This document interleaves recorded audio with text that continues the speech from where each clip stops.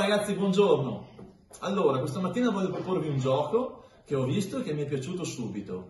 Si chiama Al ritmo della frutta. Adesso vi spiego il perché. Ho preso, ho preso della frutta e l'ho messa sul tavolo. Ho preso delle mele, delle arance e, lim- e dei limoni. Ok? Perché andremo ad abbinare ad ogni frutto un movimento coordinativo. Ok? Vi faccio vedere. È più facile da far vedere che da spiegare.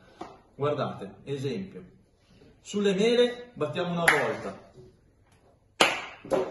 Sulle arance doppio tavolo.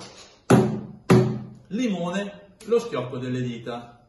Ok? Ci siamo? Riproviamo insieme. Mela. Mela. Arancia. Schiocco delle dita. Questo è il gioco, voi potete farlo con dei pennarelli se non avete la frutta, potete farlo con dei mattoncini, potete farlo con, questo, con una... quello che volete insomma. Adesso proviamo a renderlo un po' più difficile, il ritmo della frutta. Vediamo, mettiamo le arance, facciamo tutto doppio adesso, eh. Qui ci vuole un po' di concentrazione, che mi sbaglio anch'io, eh. Sto imparando anch'io a farlo. Abbiamo due mele qua, pronti? Mi concentro?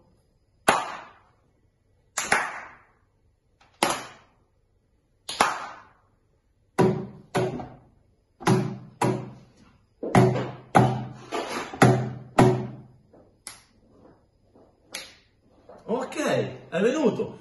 Beh, per renderlo ancora più difficile, naturalmente potete poi variare i frutti, no? Il frutto mettete scombinati. Allora qui sì che bisogna ragionarci bene sopra. Esempio, la mela la metto qua e parto con un limone. Qui proviamo a fare l'ultimo insieme. Questo è difficile però, eh. se mi sbaglio portate pazienza, eh. Non l'ho provato tantissimo. Proviamo. Limone, partiamo.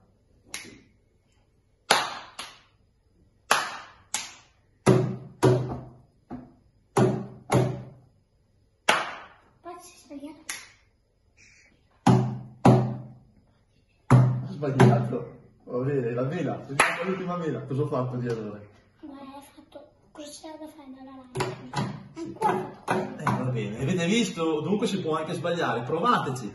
Lo fate magari insieme a un vostro familiare, vedrete che passerete 10 minuti in compagnia ed è carino. Ok ragazzi, spero che questo esercizio al ritmo della frutta vi sia piaciuto e non mi resta che salutarvi. Dunque ci vediamo al prossimo giochino. Un saluto da me e da Dante. Ciao, ci vediamo anche da Elia. Ciao a tutti, ciao ciao.